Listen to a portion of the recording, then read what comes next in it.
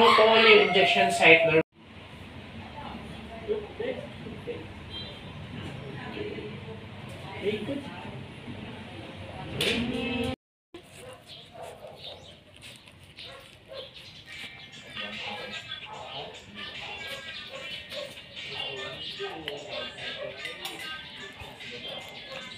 Pag niya bigali, diretso ka mo to kay si.